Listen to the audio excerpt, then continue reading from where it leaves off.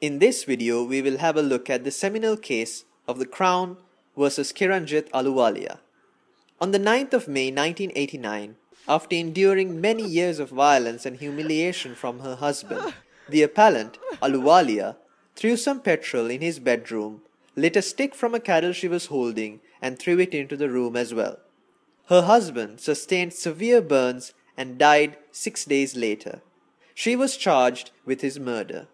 The defense case was that she did not intend seriously to harm her husband, but only to inflict some pain. Relying on the history of ill treatment throughout the marriage, provocation was also taken as a second line of defense. The defense therefore sought a verdict of manslaughter, but the jury returned one of murder. The Crown Court at Lewes convicted her of murder. She was sentenced to life imprisonment. Ahluwalia appealed. The appeal was allowed and the conviction of the murder quashed and a retrial ordered. Thanks a lot for watching this video. If you enjoyed it, please leave a thumbs up.